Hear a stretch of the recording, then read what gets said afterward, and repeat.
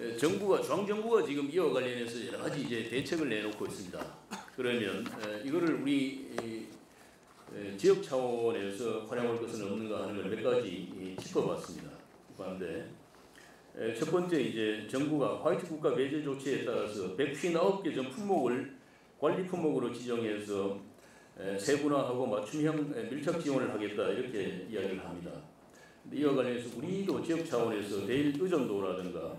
또 파급 효과, 국내외 대체 가능성 같은 것을 기준으로 해서 지역 차원의 중점 관리 품목을 지정하고 나름대로 밀착 대응할 수 있는 방안을 마련해야 되겠다 하는 거고 그 다음에 정부가 이제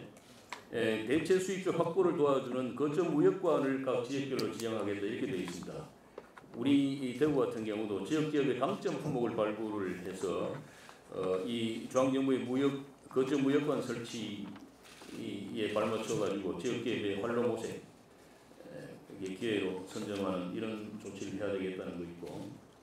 또 하나 정부가 소재 부품 부족 물량의 조속한 대처를 위한 생산 설비 신증설 지원책을 내놓고 있습니다. 여기에 해당하는 지역 기업을 신속히 이 발굴을 하고 정부 지원 대상 기업으로 우선 에, 선정되도록 지원할 필요가 있다는 말씀드리고 그 다음에 이번 추경에서 1,773억 원 일본 수출 규제에 대응한 소재 부품 장비 자립화 지원 어, 하겠다 이렇게 되어 있습니다. 에, 이와 관련해서 대구 같은 경우 어, 뭐 예를 들면 CNC 컴퓨터 수치제 공작 기계 기술 개발 같은 부분 이 부분은 일본의 에, 의존도도 높고 그 다음에 대체 부분에서 어, 우리가 아, 어, 공개 기반이 열위에 있습니다. 이런 경우에 특히 제조업 에, 기업들의 CNC 공작기 소프트웨어를 건, 전적으로 이제 일본 환학이라는 기업이 의존하고 있는데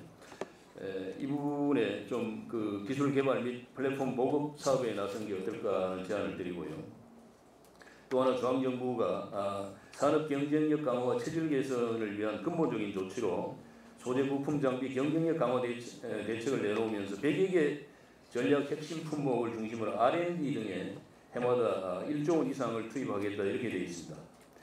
에, 이와 관련해서 우리도 R&D 투자 전략 및 프로세스 혁신을 담은 별도의 에, 대형 프로젝트를 추진하고 예를 들자면 디지털 twin factory 구축 사업이라든가 이런 쪽으로 어, 심혈을 기울여 나가는 건 어떨까 하는 제안을 드립니다. 그리고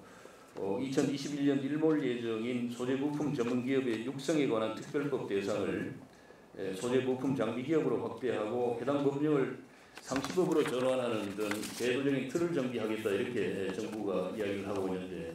이와 관련해서 향후 어, 대구가 에, 10여 개 기업을 지정해서 주력 소재 부품 장비 국산화 화율 제고에 에, 전상인 역량을 발휘할 수 있도록 연구 지원과 아, 기타 여러 가지 제도적인 에,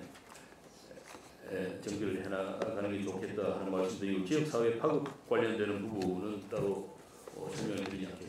설